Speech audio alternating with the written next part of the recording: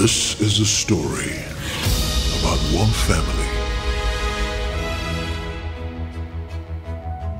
This is their journey. A journey of faith. A journey of challenges. And a journey of obedience. Introducing Joseph, Mary, and the baby Jesus on the road to Egypt, part one.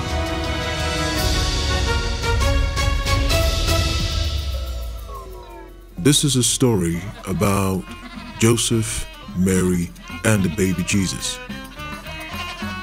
It begins in the town of Bethlehem, and good news is spreading fast that a king of the Jews is born. For some, this is great news. For others, this is competition. Joseph, Mary, and the baby Jesus, away from the manger, have just arrived in a small inn accommodation where they needed some much good night rest, ah. especially for the new arrival. Mary and baby Jesus quickly settle in and go straight to bed. Ah. It has been a very tiresome couple of days after all. Joseph, on the other hand, though tired, just can't stop thinking of what has just happened. He's not overwhelmed as he was before the visit from the angel, yet it was still hard for him to take it all in. As he looked across the room, leaning on the window frame, mother and son sleeping so peacefully, it then dawned on him the weight of the task ahead. Sweat pouring down his face, oh. And hand on his head, Joseph, with a heavy sigh, said to himself, Oh, oh my. I am now the father of God Himself. just as those words flooded his human philosophy. The door shook from the heavy knock. What was that, Joseph? Mary quickly sprung okay. up and immediately cradled the baby. One second. Strangely, though, I'll the it. baby did not cry, but actually kept on sleeping. Joseph quickly shuffled at the door, hand shaking ever so slightly. Who is there? Joseph whispered. It is I, the innkeeper. Who? Came the voice from the other side of the door, whispering slightly louder. Are you okay? I've got some more blankets and, and, and sheets. And, and yes, even milk for the baby also. Oh, okay, okay. As the fear slowly evaporated, Oh, a joyous you. smile was the much the order of the day as Joseph quickly opened the door. Thank you, God. Thank you. Meanwhile, Herod was waiting word from three men who were heading to see the baby king, due to be born anytime soon. He was hoping they would be bringing back word by now, and yet it's been three days and nothing. Pacing like a man possessed, he suddenly flips over the trays of fruits on the table. Ah! He exclaimed. This cannot be happening! He screamed out. His attendants and advisors rushed in. They were outside the courtyard at the request of Herod as he wanted some time to himself earlier. As they came rushing in, looking concerned, more out of fear than genuine care for the king. King Herod walked forward and held one of the advisors called Ahula by his Come clothing. here. Ola. Where is this king? Where is this so-called king? Where is he? He wants to take my throne. Where is he? Where is he? He asked one more time.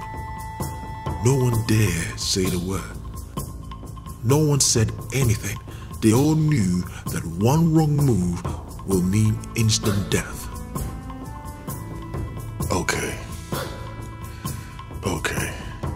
Herod said calmly, If I don't hear from those traitors tomorrow, then I expect a solution to this question. How do I destroy this enemy to my throne? I expect an answer at dawn. With that, he dashed out headed to the king's quarters. His servants and guards following suit. Now, it has been three days since the birth of Jesus.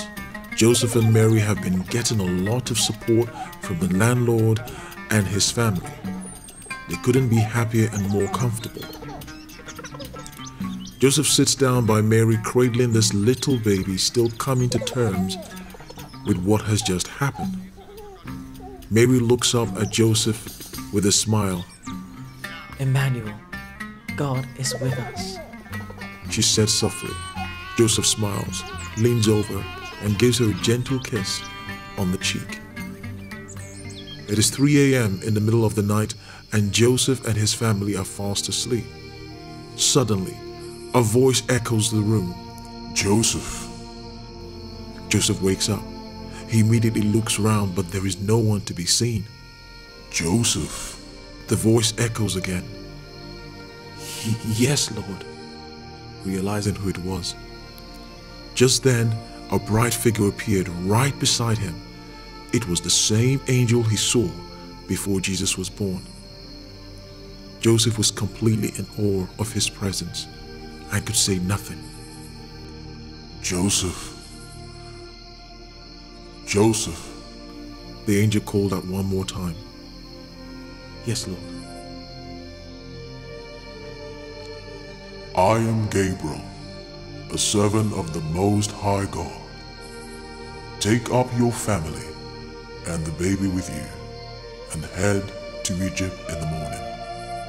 His life is at risk. Do not waste any time. Take your essentials and go. The Lord God is with you. With those last words, Joseph woke up. it was a dream. Oh, but then Mary also woke up. They both looked at each other and knew what they had to do, as Mary also had the same dream. Joseph, we have to go to Egypt. Y- yes, E- Egypt, Joseph replied. So at the crack of dawn, they all got their essential belongings, as instructed, and set out with the baby, and Mary sitting on the donkey, heading for Egypt. No words were spoken. It was just silence, broken only by the baby Jesus, giggles, and gently rustling of moving items on the donkey. They never looked back. It was just another turn in the journey constantly unraveling.